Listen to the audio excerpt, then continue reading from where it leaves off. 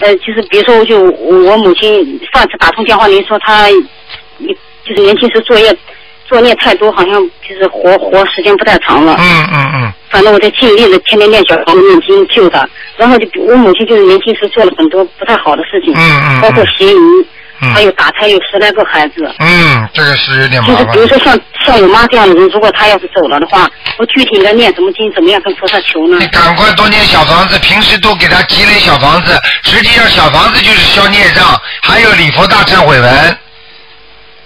哦，应该给他那念几遍呢？礼佛有的念了，要念很多了。你想想看，他的孽障这么深的话，他要靠念礼佛大忏悔文跟小房子才能化解。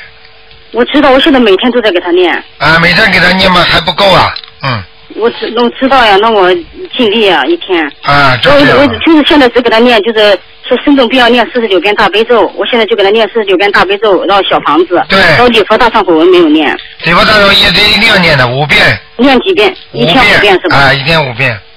哦，那就比如说，就就是最坏的打算，如果他要是走了的话，我当时应该念什么经呢？你当时就继续给他念小房子，一边烧小房子，一边不停的给他念小房子，就这么简单。